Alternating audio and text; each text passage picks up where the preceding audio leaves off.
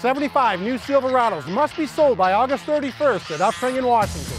We're remodeling and have to move them out to make more room. Choose from over 230 new Silverados and save like never before. At the heart of Chevy country, Uftring Chevy in Washington.